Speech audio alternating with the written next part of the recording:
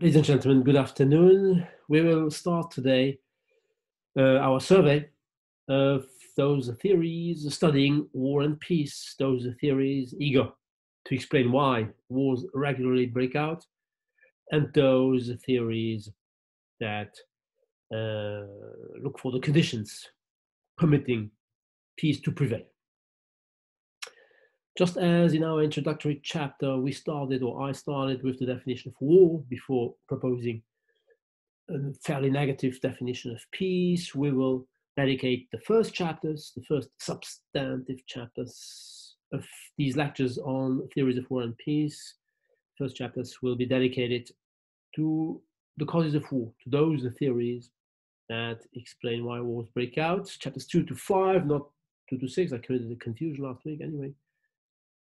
And we then, from chapter six to nine, we will have a look at those theories focusing on the conditions of peace.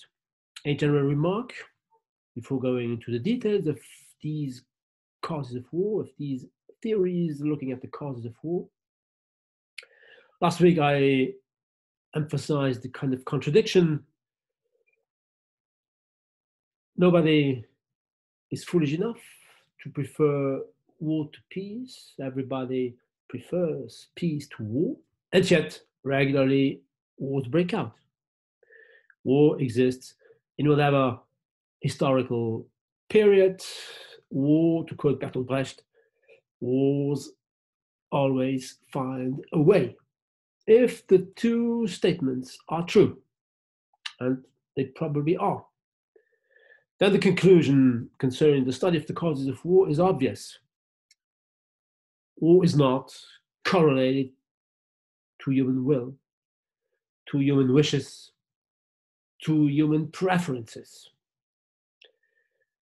Wars are due to causes out of the reach of the control, the goodwill, the choice of any human being considered individually.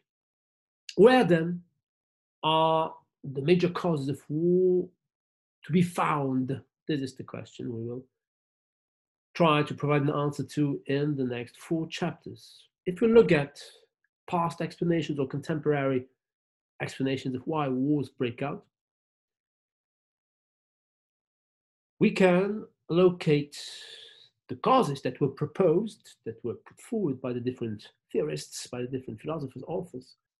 We can locate these causes within the nature of human beings, the nature of man, within the domestic political regimes of collective units and within the international system, the interstate system, the system of states. These three estimates of the causes of war, ladies and gentlemen, have been referred to as the three images of international politics, the three images of international politics by Kenneth Waltz in his first book, actually his PhD dissertation, Man, the State and War. And he defines each image, the first, the second, the third, he defines each image according to, I quote, where it locates the nexus of important causes was this book was criticized positively. There was a, a, command on this book published two years later in 1961 by David Singer, he who a little bit later started the COW project, the Correlates of War project. I mentioned this project last week. In an article called The Level of Analysis Problem in International Relations, the level of analysis problem in international relations, I, I will stick to both Singer's and Waltz's proposal. So we will look first at those explanations locating the major causes of war at the first level of analysis or the first image, that is to say, human nature. And the decision-making process of individual statesmen and stateswomen launching a war, deciding that a state should go to war. Then we will, this is chapter two, then we will get today's chapter. Then we will look at those causes located at the level of the second image, the collective domestic political domestic political regime of the collective units, chapter three.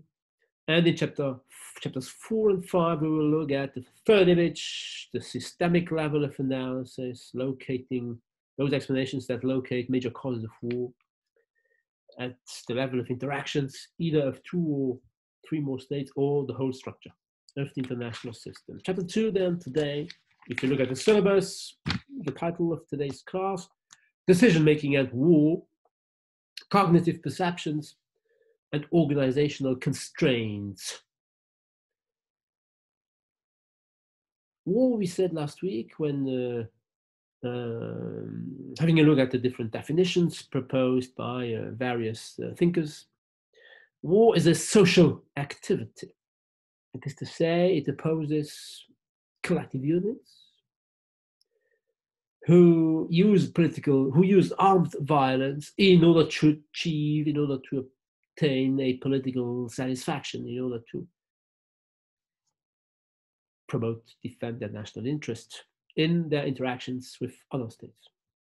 So it is a social activity, but a war is the consequence of specific decisions taken by one man or one woman. And this, I think, is the reason why we should. The first question we can ask, we should ask as the first question, whether there is an implicit or an explicit relationship between first human nature and war, since human beings take the decisions to go to war.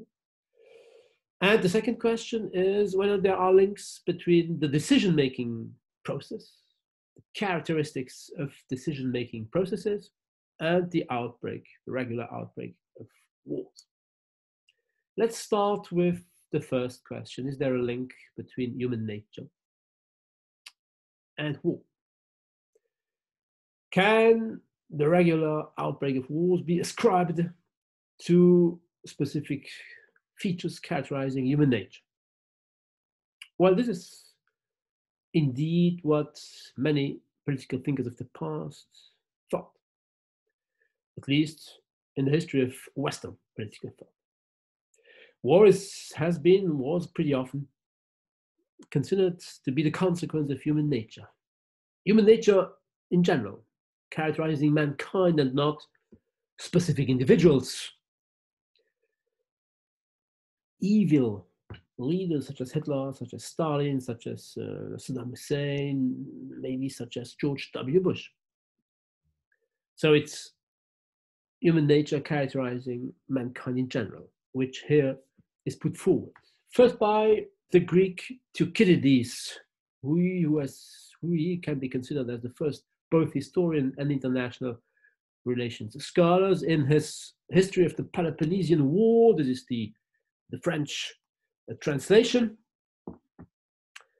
We come back to him in chapter 5 because he thinks that the Peloponnesian War was due to the expansionism of Athens, the growth of Athens, of Athens and the fear, uh, Uh, which this growth inspired to Sparta. Sparta thus was forced to start a war which escalated into the Peloponnesian War. So there is a systemic explanation. But, and here we come back to today's chapter, the growth of the power of Athens, the expansionist ambitions of Athens, are traced back by Thucydides himself to human nature.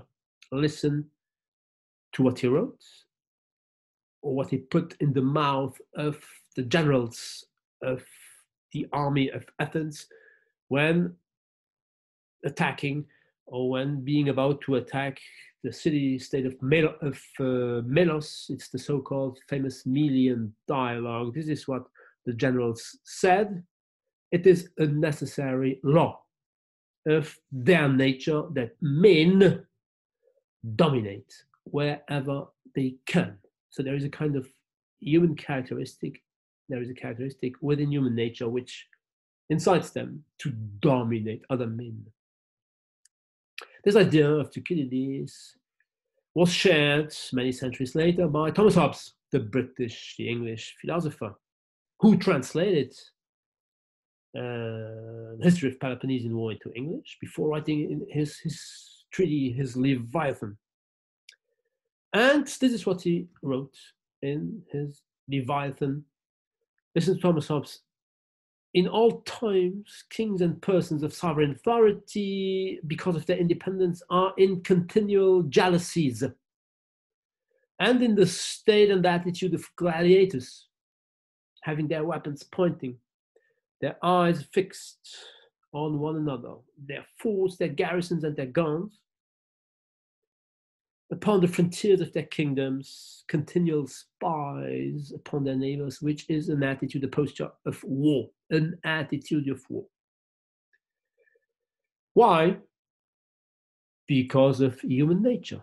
Indeed, you know this, the Latin expression homo homini lupus est, man in Hobbes' political philosophy is a wolf to another man. Three sentences I think deserve to be quoted.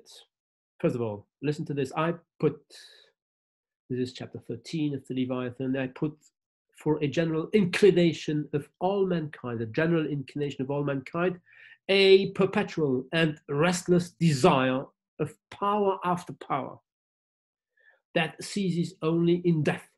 So men desire to be more and more powerful in their relations with other men. First quote. Second quote.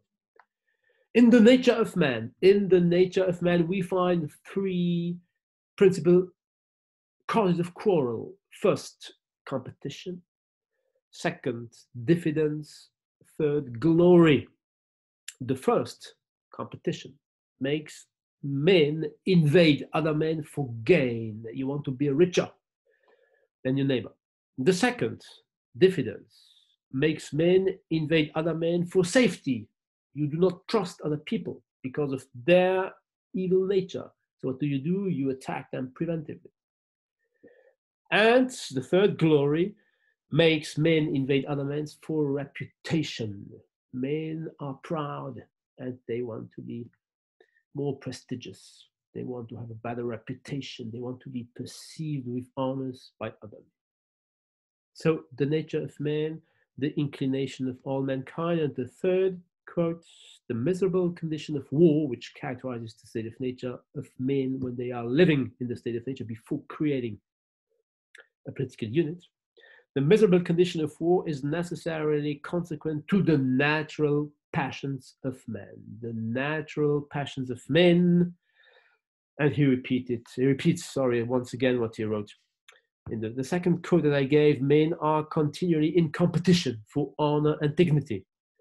And consequently, amongst men, there arises on that ground envy and hatred, envy, hatred, and finally war. Men go to war against each other because they hate each other. Thomas Hobbes, very pessimistic. The American theologian Reinhold Niebuhr in his book Moral Man and Immoral Society, Niebuhr introduced political realism during the 30s in the US. So he's, to some extent, uh, uh, one of the, the founding fathers of American classical realism. And in this book, he characterizes men to be characterized, he thinks that men are characterized by their will to live, and their will to power, the will to live, the will to power. Niebuhr also influenced Obama's foreign policy vision. His approach, his specific kind of realism, is sometimes called Christian realism because of his theologian overall philosophy.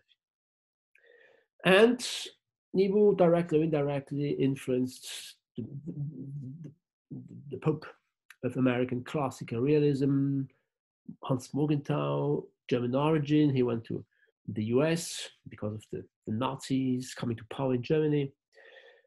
And in his most famous book, The Bible of Classical Realism, Hans Morgenthau, who is eager in this book to to, to propose, to present the theory of international politics in order to explain why politics is a never ending struggle for power and peace, the subtitle of his book. Morgenthau, this is what he wrote realism, since he considers himself to be a realist, in his criticism of idealism, the then prevailing approach in the US and, and in the UK during the interwar period. Realism believes, I quote, that the world is the result of forces inherent in human nature. Forces inherent in human nature. Realism believes that politics, like society in general, is governed by objective laws that have their roots in human nature. And this human nature did not change. Since I quote the classical philosophies of China, of India, and of Greece, Thucydides, human nature did not change since the classical philosophers, the classical philosophies in China and India and in Greece discovered these laws. So, what then uh, is the world consisting in? What does the world look like? The world is inherently, listen to this, a world of opposing interests and of conflicts among them. Why? Because of, and here is the explicit reference to human nature, because of those bio psychological drives. Common to all men. The drive to live, the drive to propagate, and the drive to dominate every man and therefore every state, because the state's behavior, the roots in human nature, every man is characterized by its eagerness to live, to survive, but also to propagate, to diffuse his ideas, and to dominate, to eliminate uh, challenges or adversaries in general. So human nature indeed was put forward by thinkers of the past as basically explaining why wars break out. These explanations nowadays are no longer uh, considered to be scientific, are no longer taken seriously in the modern conception of international relations theories. First of all, because the assumption that human nature is inherently evil, that we are egoistic, aggressive, eager to dominate, etc., this assumption is not shared, not even in the past, by the philosophers. According to Locke, for instance, who criticized Hobbes, the state of nature among men is rather a state of cooperation, sometimes interrupted by results to violence. But man is not basically violence. He has a kind of neutral conception. Better still, Rousseau, to some extent Montesquieu, but above all, Rousseau considers man in the state of nature, the so called noble savage, to be inherently good. It is society which perverts men, but not human nature itself. And if we look beyond these more or less metaphysical claims, if we look at the concrete behavior of men and women, of individual human beings in their everyday life, well, and this is what Kenneth Waltz is doing in his Man, the State at War, what do we see? We see that, Kenneth Waltz, there are evidences of men's behavior as rapes, as murders, as thefts. Yes, sometimes men are evil, but there are also counter evidence of men uh, acting with charity, with love, with self sacrifice. And these counter evidence would tend to prove that men are and women are inherently good rather than inherently evil. So the metaphysical starting point of Thomas Hobbes, of uh, uh, Hans Morgenthau, of Thucydides is, of course, hardly convincing. But nevertheless, let's imagine that human nature indeed is basically evil. If this is true, then Hobbes, who is the founding father in, of contemporary philosophy, contemporary classical realist philosophy, then Hobbes does contradict himself. You know that according to Thomas Hobbes, men are inherently evil and therefore they are wolves to other men in the state of nature. Life is, I quote, solitary, poor, nasty, brutish, and short because people, men, kill each other. There is no place for industry. There is no culture. There are no arts, no letters, no society, and worst of all, I quote, there is a continual fear and danger of death. Since man is a wolf to another man, every man is afraid of dying, of being killed. So human nature explains this never-ending state of war. But, and here is the contradiction. Men are able to get out of this state of nature, and therefore out of this state of war. The possibility exists, according to Hobbes, I quote, to come out of the miserable and short life of the state of nature, partly because of men's passions and partly because of men's reason. Men's passions, his fear of being killed, drives him, incites him to look for a solution. And man's reason, his willingness to live a better life, to benefit from the fruit of his efforts. incites man to do what? To sign a social contract. That is to say, to establish a political unit, to create the so-called sovereign representative, central government, we can call it, which guarantees the security of everybody, the survival of everybody. In other words, the one and only evil human nature explaining the state of war does not prevent men from looking for a solution to get out of this state of war. But there, here, here we have a kind of contradiction.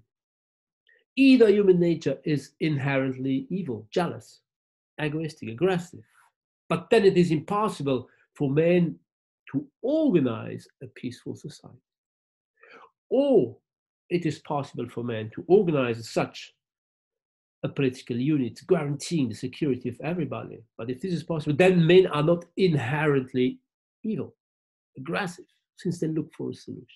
And what's more, and what's more, according to Hobbes, states, I quote, are but artificial men. States are but artificial men. States are men gathering together the nature of men, therefore, also prevails at the level of states. But if this is true, then states too should be able to get out of the state of nature, of what nowadays we call anarchy. But according to Hobbes, this is not the case. States, political units, are in never-ending state of war, I quote, because of their independence, because they remain independent. So states which are but artificial men, which are not different from, uh, from men, states are unable, contrary to men, to sign a social contract among themselves in order to establish a central authority. So here we have a contradiction. To put it bluntly, to put it shortly, the main problem of those theories ascribing wars to human nature, to a fixed human nature, defined as evil, as, as, as, as aggressive, as bad, as jealous, as egoistic. The main problem is that human nature remains the same, whether states fight or not. Human nature can explain why a war existed in 1914 and why a war broke out in 1939.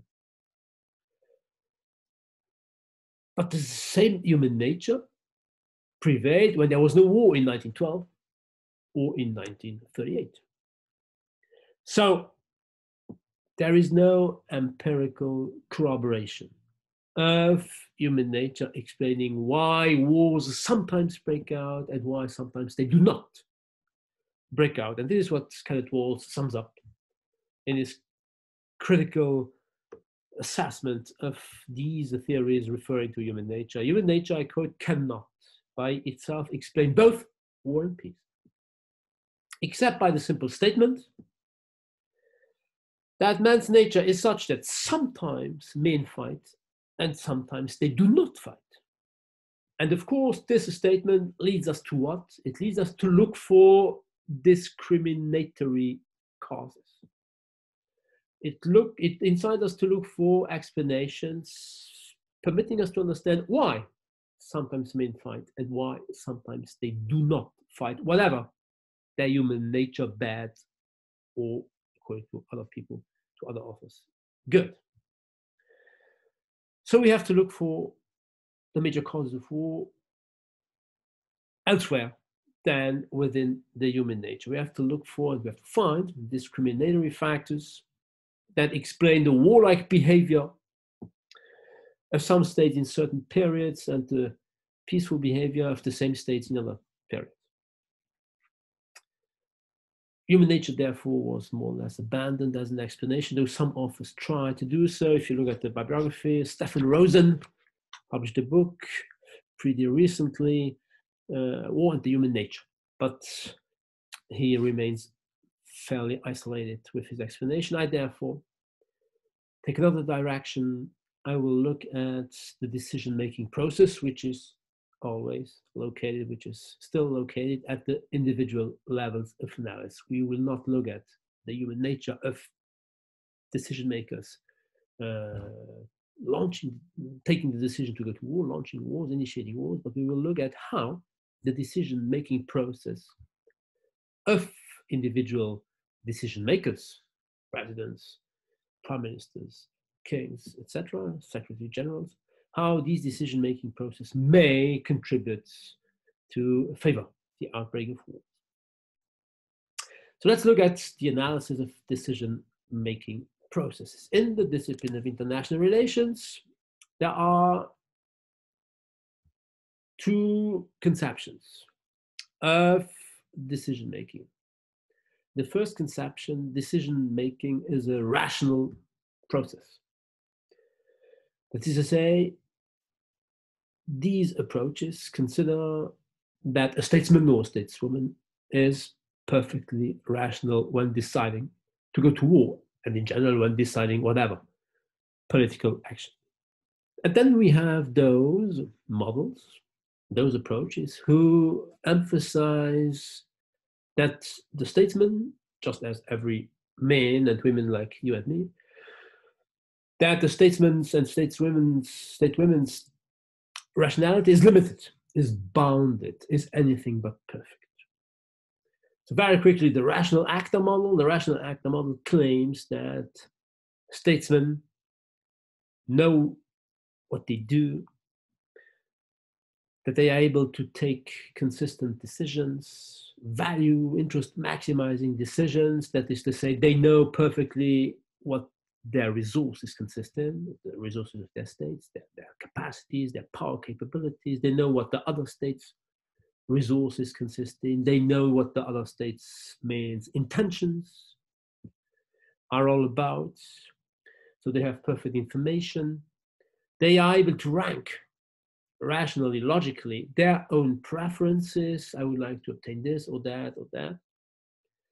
And then they are able, of course, to anticipate the consequences of a policy looking for the first objective or the second or the third, etc., etc. And once they have undertaken all this, all these calculations, they take the decision which will permit the state either to maximize its interests, its advantage, or at least to minimize the disadvantage. So it's the rational cost advantage calculation which characterizes statesmen and stateswomen. And actually, once the decision was put into practice, once the action was undertaken, the policy is evaluated. And if it was successful, the statesman sticks to it, goes on with it. If it is not successful, he changes the policy and opts for another alternative action, etc., etc. This rational actor model is implicitly or explicitly the one uh, put forward by classical realists such as Morgenthau. Morgenthau, in his Politics of Nation, claims that statesmen think and act in the terms of the national interest. The national interest, defined in terms of power, states look for more and more power. Statesmen know what the national interest consists in, they act irrationally. And the same is true for Henry Kissinger, both practitioner and uh, historian, academic before becoming practitioner.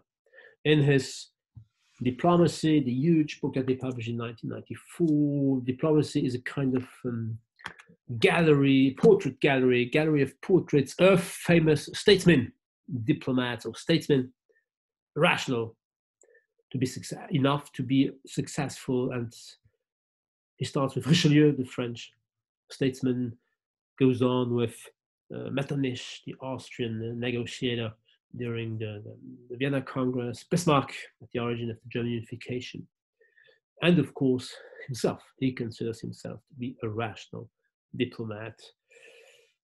He was a classical, still is, he's still alive, a classical realist, just a as Morgenthau.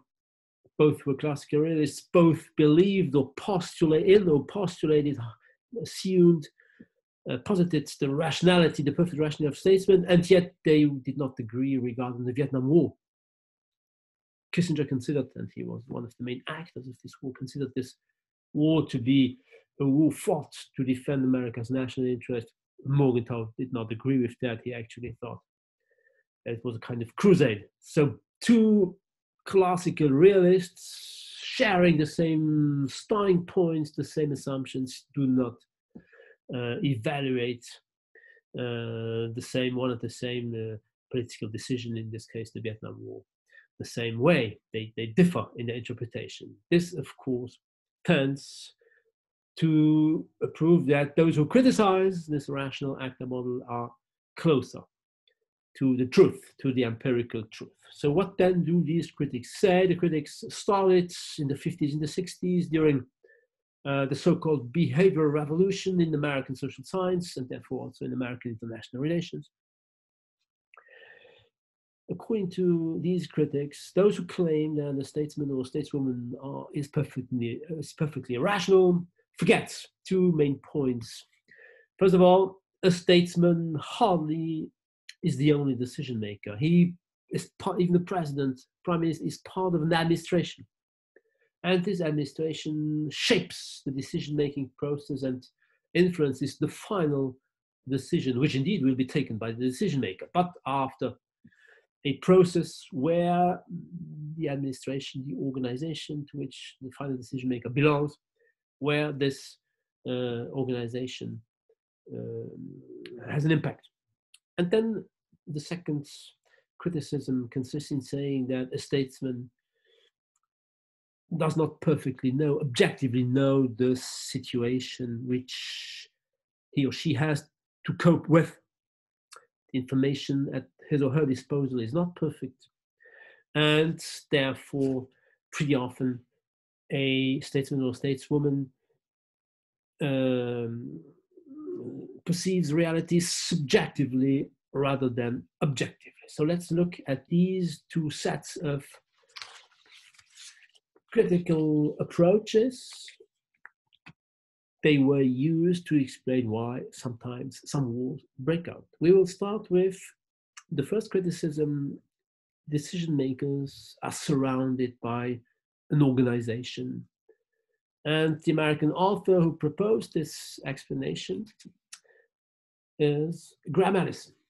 In his analysis of the Cuban Missile Crisis, this is the first edition this is the second edition. The second edition uh, was published 30 years later, 1971, 1999, uh, as far as I remember, when the archives were opened, the archives of the, the Cold War, which permitted Allison and Zelikow, the historian, to look at the historical evidence of what Allison's model put forward as early as 1971. It was his PhD dissertation too. So Graham Allison criticizes the perfect rational actor model and proposes two alternative models, the so-called organizational process model and the so-called bureaucratic politics model. I will focus on the first one because it can be used to explain why specific wars broke out in the past. So what does this organizational model consist in? I have I do not have the time to go into the details of the Cuban Missile Crisis and Allison's own analysis of it. Anyway, so in, this, in, in the study of causes of war, the organizational constraint, the, the organizational process model was used to um, account for some specific wars. I'll give you immediately the two empirical examples. So according to this model, the organizational process, administrations, and therefore including the statesman or the stateswoman sitting on the top of an organization, of an administration, of a government. Organizations, when they take decisions, are characterized by organizational routines.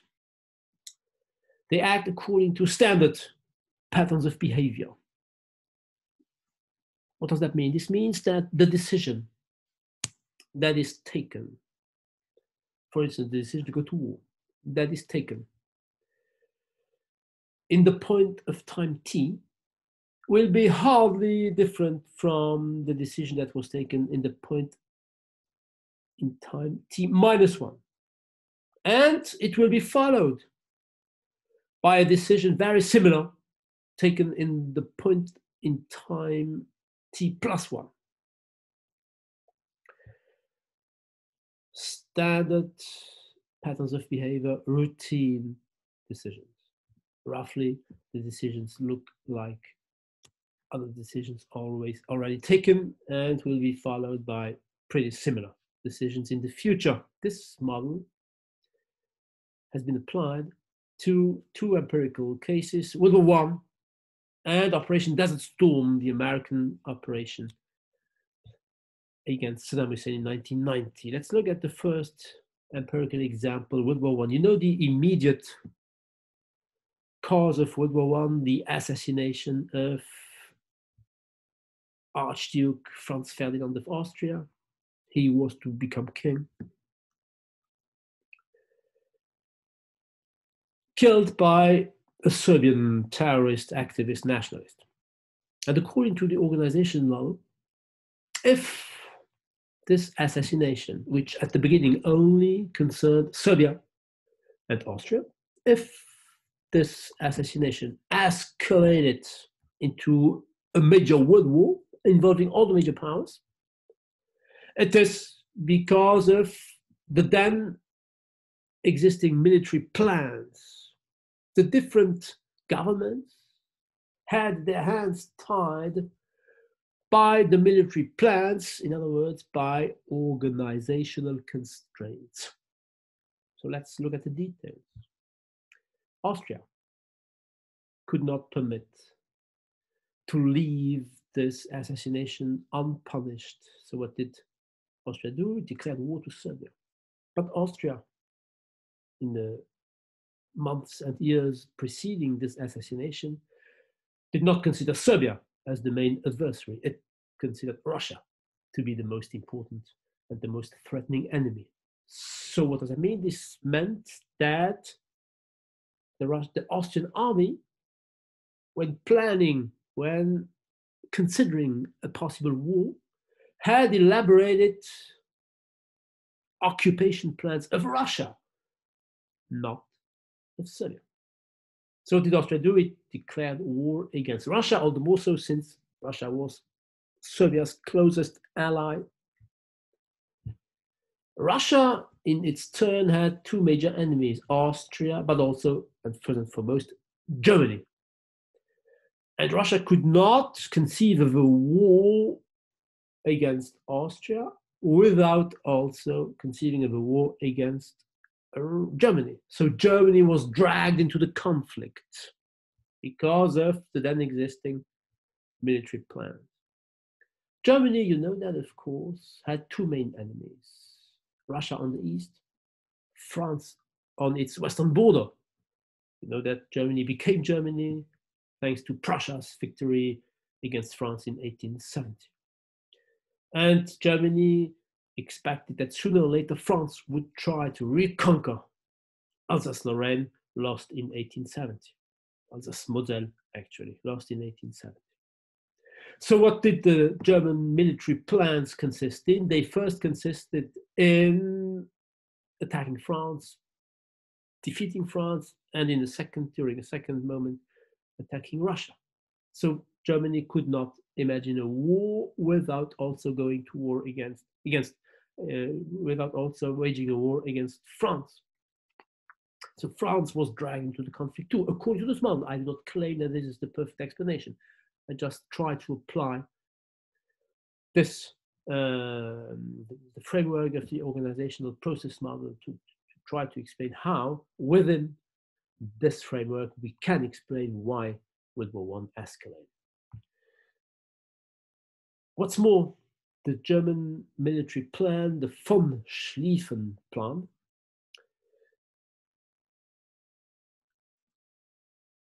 considered that France should be attacked not by crossing the Rhine River, somewhere in the region of Strasbourg, but by attacking France on its northern border across the Ardennes, across Belgium. The problem, however, is that Belgium was perceived by the British to be logically, geographically contiguous.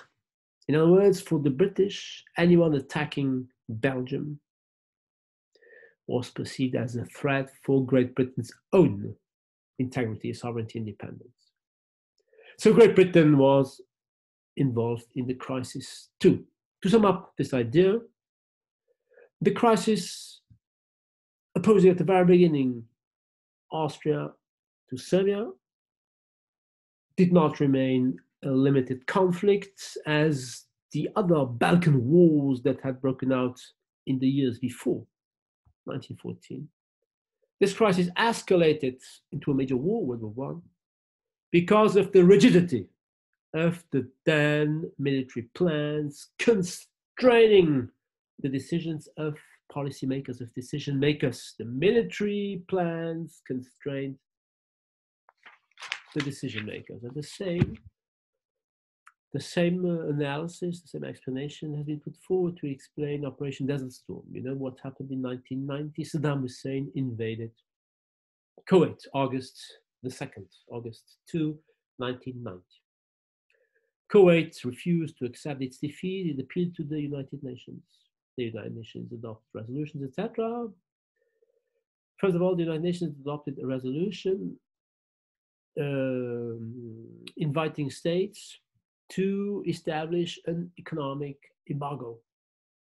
Economic sanctions were adopted to try to force Saddam Hussein to withdraw. The Americans went beyond. They also sent troops to the Saudi Arabian desert to some extent to prevent Saddam Hussein from expanding and from attacking Saudi Arabia, not merely Kuwait. This deployment of American troops was called Operation Desert Shield. Desert Shield, a defensive operation. We established a shield to prevent Saddam Hussein from uh, attacking Saudi Arabia. The UN had adopted economic sanctions. Economic sanctions work if they work after a long period. The consequences of economic embargoes do not appear immediately, of course. What does that mean? This means that in order for economic sanctions to have a chance to be efficient, the American troops should have remained a fairly long time in the Saudi Arabian desert without, of course, attacking.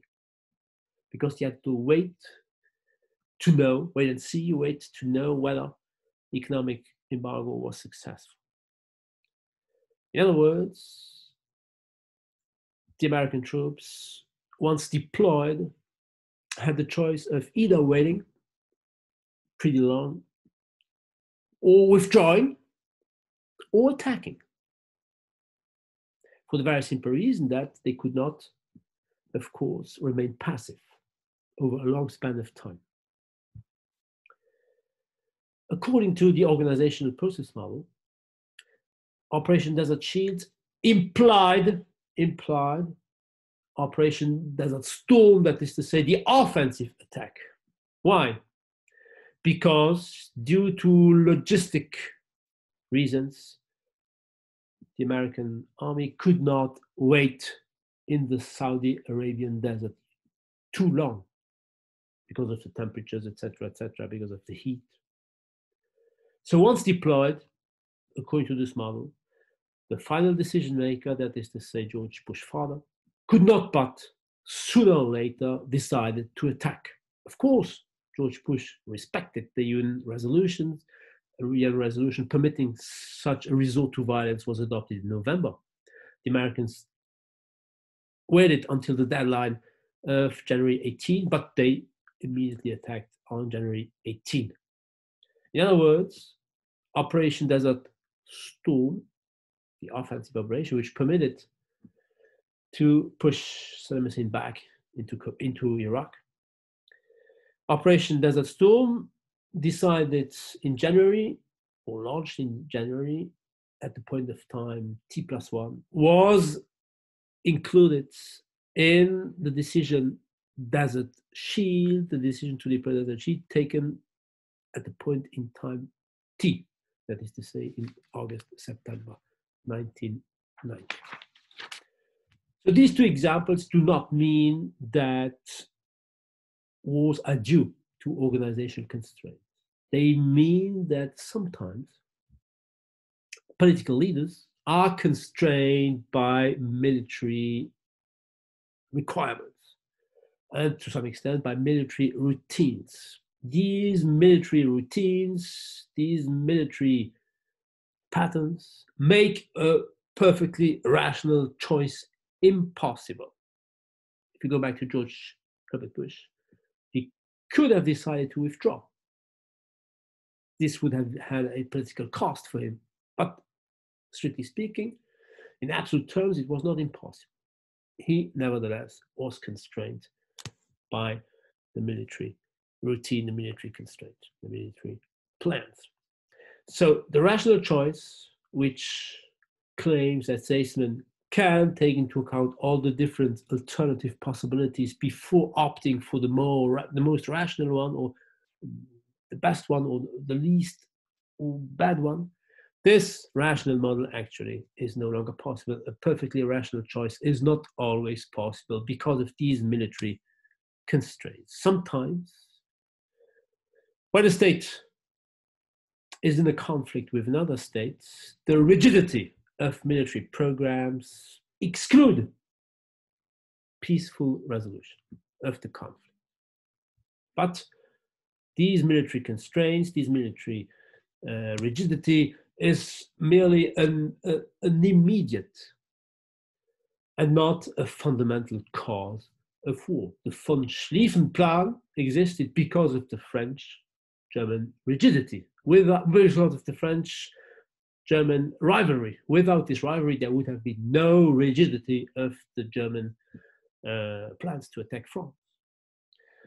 If Bush was eager to intervene against Kuwait, and if he decided to launch first Desert Shield, without Desert Shield, there would have been no Desert Storm. It is because Kuwait's attack by Kuwait, by Iraq, was perceived by George Bush as a threat to the regional stability and all the stability of the oil market because of America's dependence on, at that time, on the oil imported from the Middle East. So, to sum up this first point, organizational constraints are a contributing factor, but not a fundamental cause of wars when they break out. And the same, I think, is true of psychological explanations of psychological causes, of psychological uh, factors. So psychological explanations arise from the fact that, from the second criticism that I mentioned some minutes ago, the first criticism emphasizes sociological constraints, sociology of organizations, psychological explanations focus on cognitive processes, on cognitive biases that characterize decision making processes and that prevent perfect rationality from prevailing.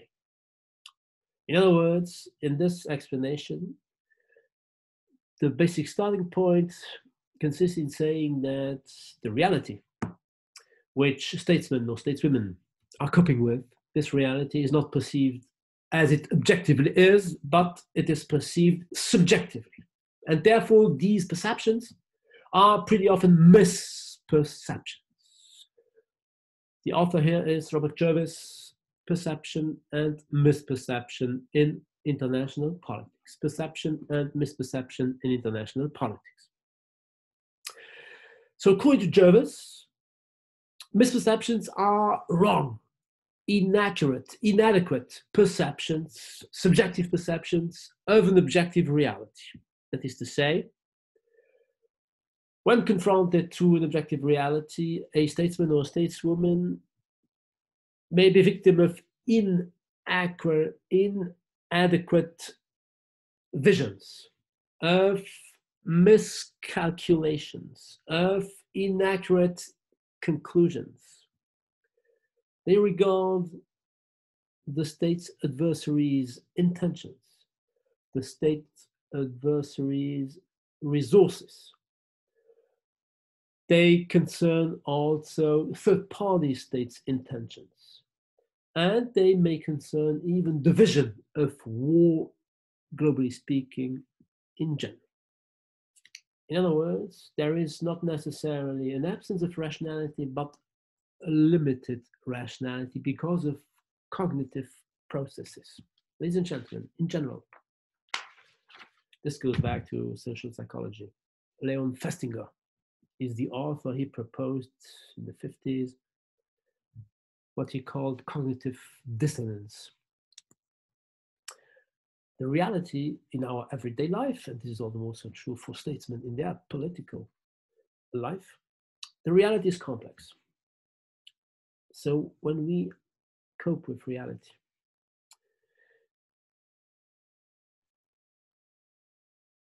in order to maintain what psychologists call the cognitive consonance, that is to say, a kind of psychological comfort.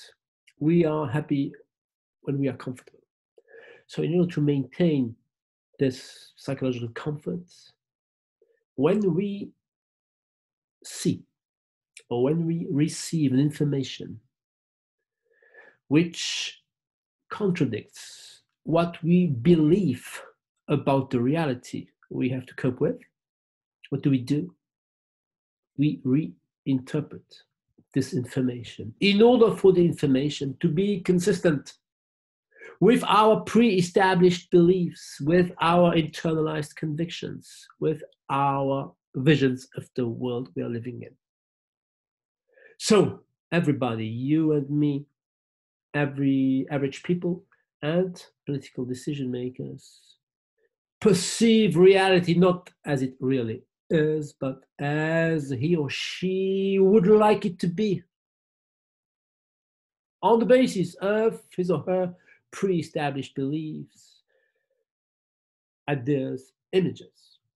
So what do we do? We do satisfy with the first interpretation which permits us to maintain the comfort. We do not look for alternative explanations or interpretations. Of course, these cognitive biases differ from one person to another. They depend on our childhood, on the experiences, negative or positive, or the impact of different political events. But whatever the intensity of the impact of these past experiences, they prevent perfect, absolute rationality to prevail. So let's look at the consequences of these cognitive biases upon the decisions to go to war according to Jervis. Statesmen may go to war because of inaccurate judgments of their adversaries' intentions or enemy or resources. They may go to war because of wrong discernments of third party states' intentions. And they may go to war because they have mistaken visions of the war itself. First of psychological biases having impacts upon the risks of war. Sometimes the decision to go to war, to resort, to resort to arms, is facilitated by an inadequate perception of our adversary's intention. Sometimes a statesman overestimates the threat emanating from its adversary. If you overestimate your enemy's intentions, you may be tempted to go to war preventively. You come to the conclusion I have to go to war very quickly before, given my adversary's intention, before this enemy will be stronger. Maybe George W. Bush's decision in 2003, Iraqi freedom, to go to war against Saddam Hussein, to some extent, can be explained by the fear, the subjective perception, the wrong perception, but nevertheless the perception of George Bush, thinking that Bush, that Saddam Hussein was about to possess weapons of mass destruction. Maybe. A state can also underestimate another state's intentions. In this case, the war is also indirectly facilitated. The outbreak of war is indirectly facilitated. Because precisely. The adversary being underestimated can come to conclusion my enemy the first state is not prepared so i can go to war. This is the explanation put forward to explain why world war ii broke out. Chamberlain the british prime minister underestimate underestimated hitler's true ambitions. He believed wrongly so his perception was wrong. He believed wrongly that Hitler was merely interested in unifying the German folk, the German people, in one single unity. So he underestimated Hitler's true intentions, Hitler's ambitions to conquer the rest of Europe. And in, in underestimating, he encouraged to some extent Hitler to attack Poland after having attacked Austria and Czechoslovakia. And sometimes the misperception concerns your adversary's resources, not intentions, but resources. That is to say, that is to say, you may believe that your adversary is weaker than it really is. So you may be tempted to go to war. This is what happened according to this explanation. If we apply it, once again, I do not claim this is the only explanation of the different wars that I mentioned. It is just an explanation credible within the theoretical framework here of misperception.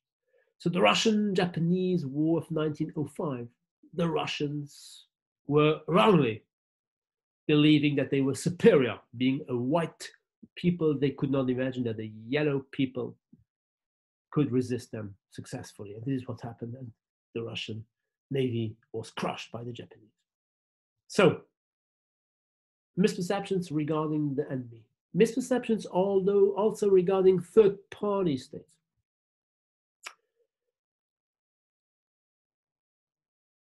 Hitler, when attacking Poland, thought wrongly that Germany and that uh, Great Britain and France would not react to Hitler's aggression of Poland, since they had not reacted when Hitler attacked Austria and Czechoslovakia. Since the Munich Agreement that had been signed by the different European powers had accepted this, these attacks of Czechoslovakia and of Austria in the hope to maintain peace. So Hitler underestimated the willingness of France and Germany of to no longer accept a new invasion of a European country. In 1950, at the beginning of the Cold War, the then American Secretary of State, Dean Acheson, held a speech where he said that America's defensive perimeter in East Asia did not include neither South Korea nor Taiwan. This speech was interpreted by Stalin, by Mao, and by the North Korean dictator, the grandfather of today's dictator, the then North Korea's leader, Kim Il sung, as an authorization, an implicit authorization to attack South Korea, since South Korea does not belong, is not within the defensive perimeter that the Americans would defend, I, Kim Il sung, may attack. He was wrong. The Americans did not accept it. He perceived wrongly, he interpreted wrongly this speech, this discourse. And in 1990, the American ambassador, April Glaspie was her name, in Baghdad, in Iraq, during an interview with Saddam Hussein, told Saddam Hussein that, I quote, America had no opinion, no opinion with regards to inner Arab conflict. No opinion. The inner Arab conflicts regarded the conflicts in the first neutral mm, meaning of the term, the conflicts opposing Iraq to the other Arab states who had financed Iraq's war against Iran. And these Arab states, the rich oil states, Saudi Arabia, Kuwait, the Emirates, etc., of course wanted their money back. But Saddam Hussein refused to pay because he said, I defended the Arab countries from the Persian, the Iranian threat. So there was an inner Arab conflict. And it is this inner Arab conflict that the American ambassador alluded to. America has no opinion. How did Saddam Hussein interpret this? Uh, this we have no opinion. America has no opinion. Well, he came to the conclusion that America would not help Kuwait in the case Iraq aggressing Kuwait. Saddam Hussein was wrong. America did not permit this aggression. And Saddam Hussein was wrong twice, or he committed two misperceptions because he also believed that the Soviet Union, 1990, the Cold War is not completely over yet. He thought that the Soviet Union would help him since there was a treaty, a bilateral treaty between the Soviets and Saddam Hussein's Iraq. But the Soviet Union absolutely was not willing and no more able to prevent America from intervening in order to push Saddam Hussein back. The Soviet Union was confronted in 1990 with its own domestic troubles, which ended up in uh, provoking the definitive collapse of the Soviet Union some months later, one year later. And you know, the Berlin Wall at that time, that is to say, Eastern Europe had crumbled and Eastern Europe was no longer communist. Third set of misperceptions regarding the war itself, the vision that is shared by the majority of people and the majority of statesmen regarding war itself. We saw last week one of the definitions put forward by Clausewitz war is but the mere continuation of policy by other means. What does that mean? This means that war, at least in the past, maybe no longer nowadays, we'll come back to this in our chapter six. War in the past was considered as to be to be the normal instrument, that is is said to be a legitimate. No, it was means instrument of foreign policy. It was normal to go to war. Nobody was shocked when the war broke out. Broke out. Things I, I think are different today. In other words, wars, the outbreak of wars was perceived to be inevitable. And if you think that a war will occur, well, you do not bet on diplomatic conflict resolution. You prepare for war. This was the case for Thucydides. I go back to Thucydides' analysis of the Peloponnesian War. He thought that according to Athens, the city-state of Athens, I quote, the, for the for the mm, the, govern, the government of Athens, the coming of the Peloponnesian War was only, I quote, a question of time, a question of time. Sooner or later, such a war would break out. Break out. In 1914, the same perception prevailed. The Germans believed that the French sooner or later would want to reconquer Alsace-Lorraine. the Germans believed that sooner or later Russia would be that powerful that they would be unable to defeat Russia. Great Britain thought that sooner or later Germany would resort to arms in order to overthrow Great Britain from the world throne. So there was a widely shared belief that sooner or later a war would break out. And this, to some extent, internalized belief favored, provoked a climate favorable to the real, the effective outbreak of the war. Since the wars of the 19th century, I told you this last week, I think, the 19th century was a pretty peaceful century, stable century in Europe. Since the wars that broke out in the 19th century had been very limited, not at all destructive, they had been short.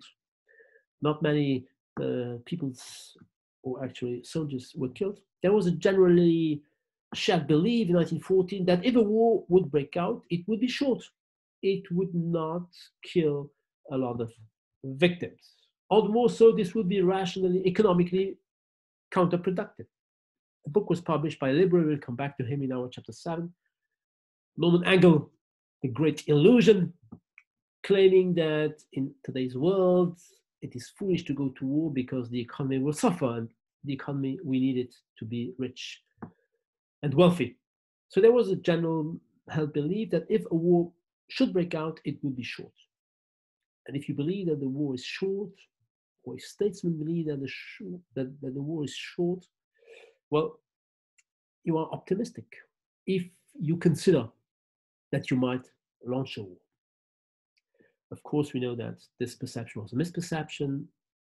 1914, the crisis broke out. The war lasted more than four years. It provoked the death of millions of people, directly or indirectly. So this misperception contributed to the war.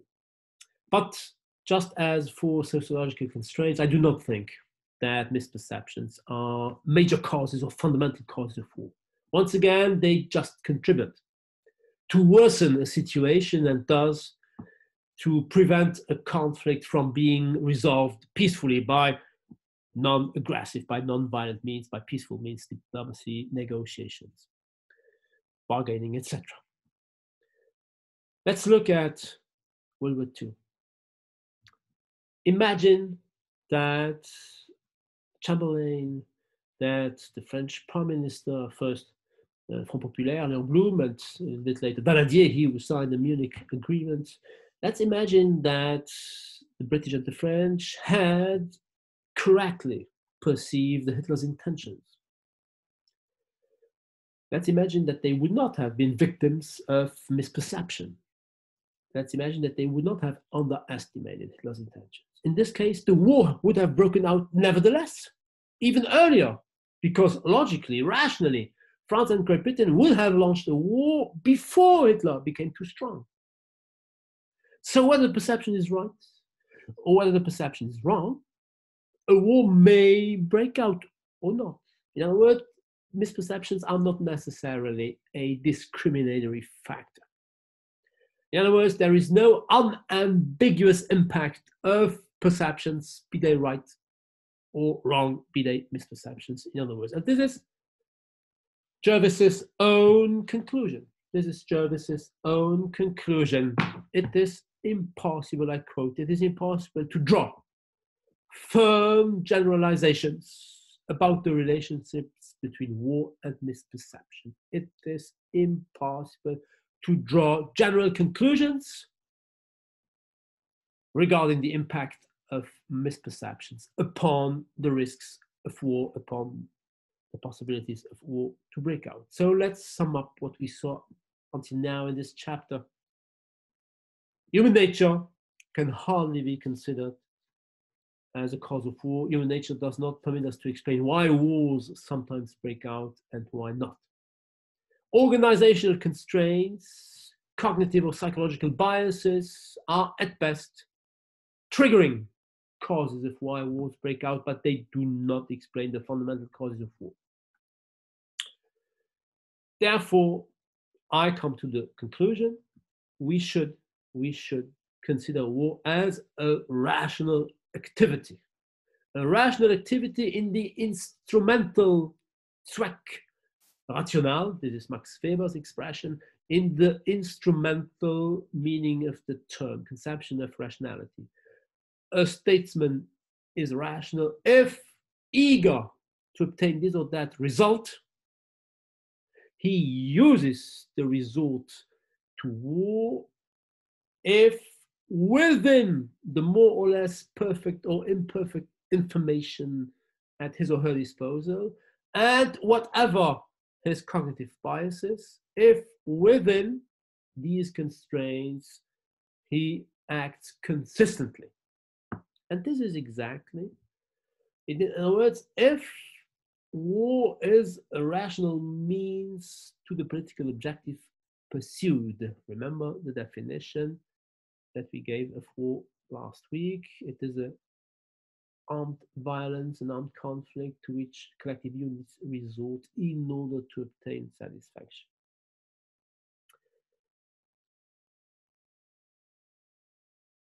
What are states looking for? They are looking for the satisfaction of their national interest. They are looking to promote, to defend the national interests, be this interest defined in terms of security, of economic wealth, of maximizing power, or even of spreading values, ideas, ideologies, doctrines.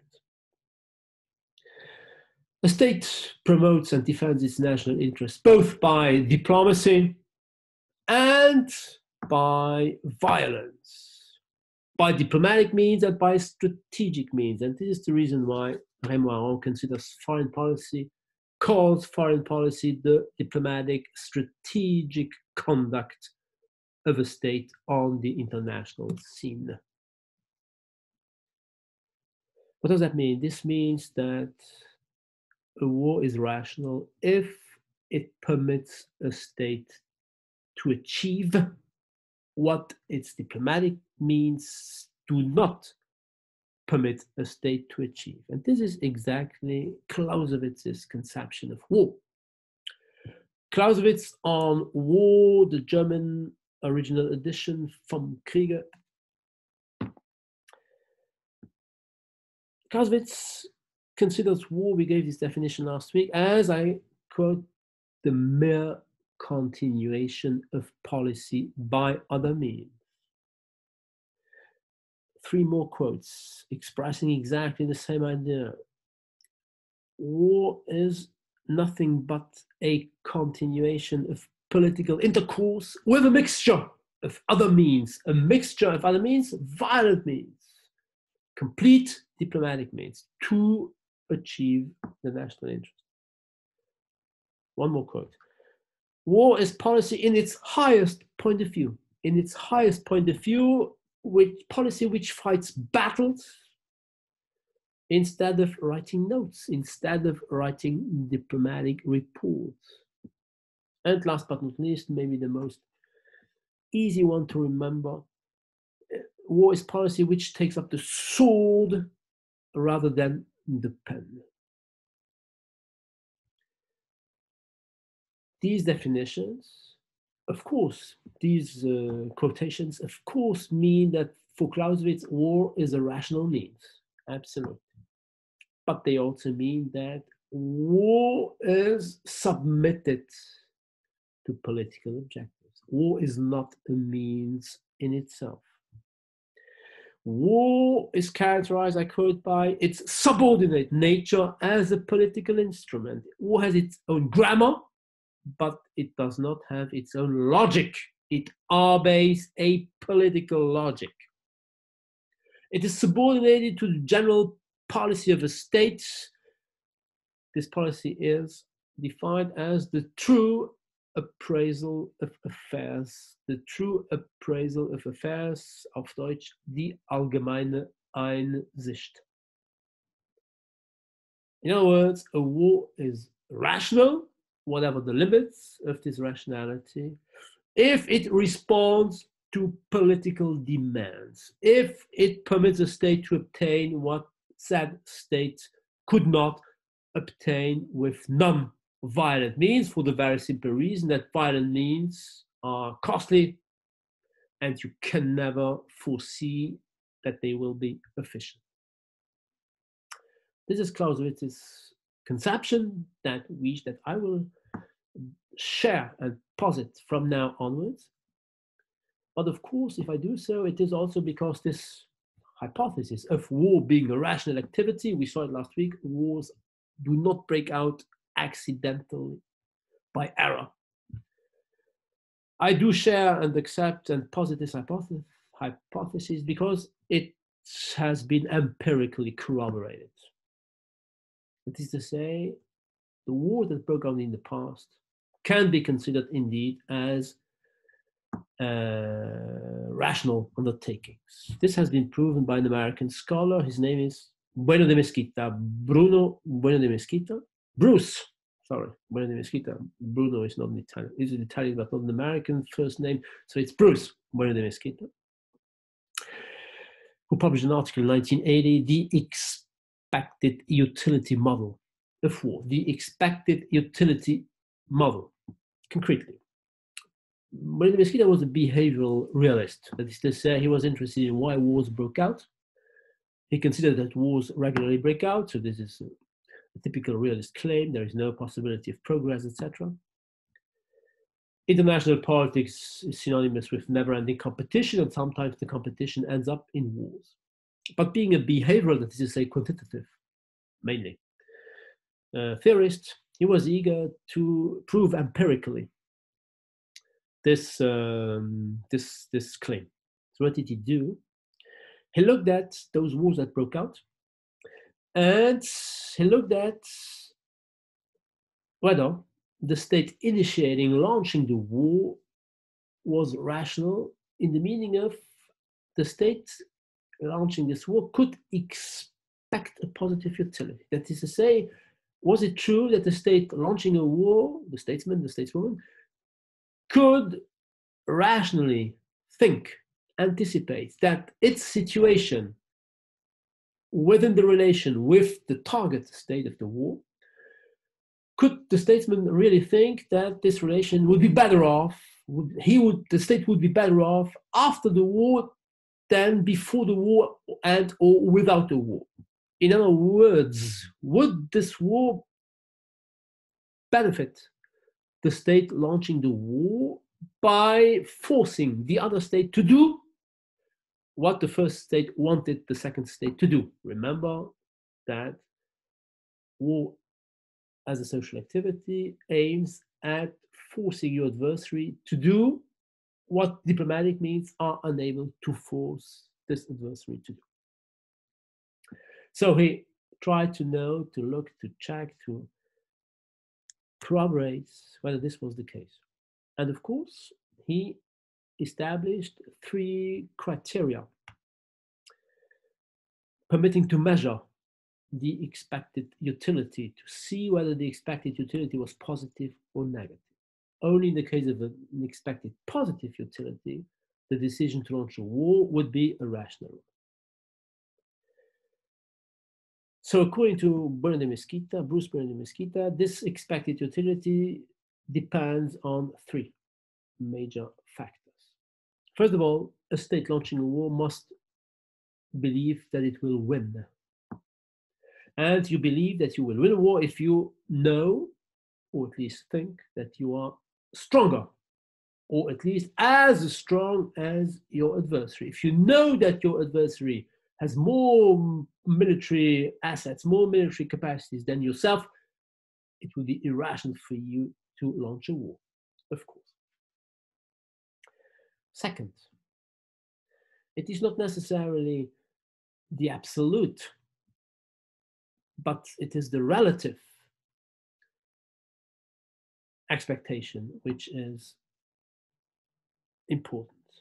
That is to say, the utility that you expect does not merely depend on your knowledge of being stronger, but it also depends on your being convinced that the mere diplomatic means will not permit you to obtain satisfaction. In other words,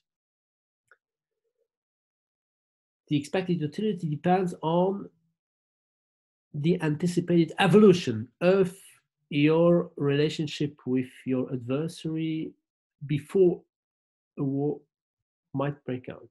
If you anticipate that this relationship will improve in the future, there is no need, that is to say, if you believe that your adversary will do what you want it to do, then you do not need to go to war.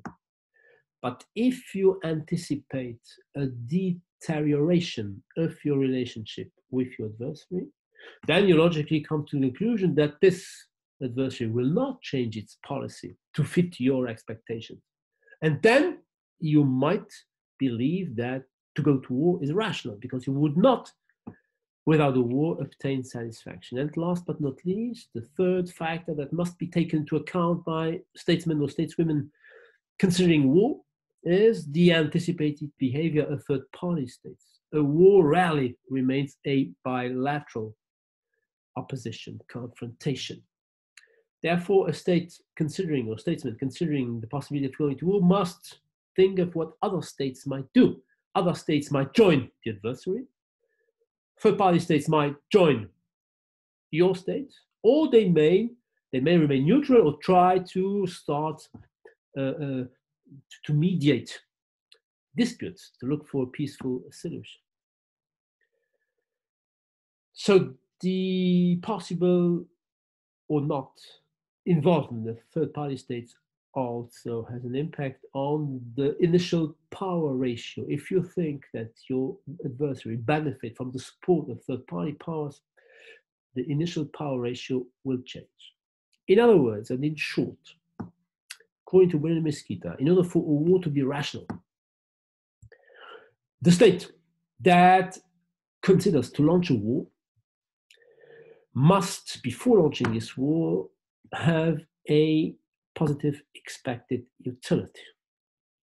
That is to say, it must be sure that it is at least as strong as its adversary. It must know that it will not obtain satisfaction without going to war, and it must believe or know that third party states will not significantly change the initial uh, advantages power ratio. This model, these hypotheses were empirically tested by Bruce Williams. He studied the wars enumerated in the of War project, the one I mentioned one week ago, from 1816 after the defeat of Napoleon to 1974. The article was published 1980, so he went up to 1974. So a time span of more than 150 years, and therefore very significant for social sciences. He studied first bilateral wars, one war opposed to another.